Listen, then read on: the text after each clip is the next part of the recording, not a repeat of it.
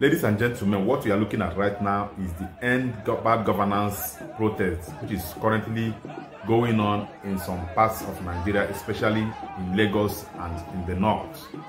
Okay, so what you are looking at now is the northern version of that very protest. okay, you can see that these youths are flying Russian flag. They have decided to take up Russian flag. And you can read meaning into this very thing. Okay, it simply means that someone is behind it. Someone has sent them to fly that Russian flag.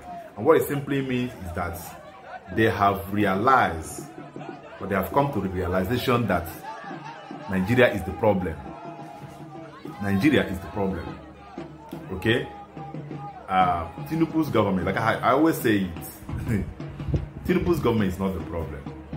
Nigeria has a, fundament, a fundamental problem, a foundational deficiency. Nigeria has a problem, a fundamental problem.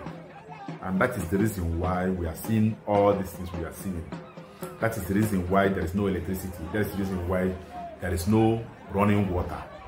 That's the reason why our, our hospitals, that's the reason why our roads are, are very bad. That's the reason why we are having politicians who, do, who don't care about the masses. Because what they care about is the money they are going to steal. Nobody loves Nigeria. Like I, I always say that Nigeria is an orphan. Nigeria is like an orphan. Nobody loves Nigeria. Nobody owns Nigeria. Everybody is looking for a way to steal something and go back to his uh, immediate family. Nobody loves Nigeria. Nobody want to pay prices. Nobody want to uh, make sacrifices because that love for a country does not exist in Nigerians because Nigeria is not a product of Nigerians. Nigeria is a product of the colonial masters. Nigeria is a product of the slave masters. And those of you who go out and say that Nigeria is our heritage, Nigeria is not your heritage. And if you agree or if you claim that Nigeria is your heritage, it means that you are accepting that you are a slave. So Nigeria is what you inherited from your slave master. That's what it simply means. But let us talk about the, the northern youth who are flying the Russian flag. The question should be, why Russian flag? It simply means that they are inviting Russia to come and take over the north. They are paying allegiance or they are pledging allegiance, loyalty to Russia.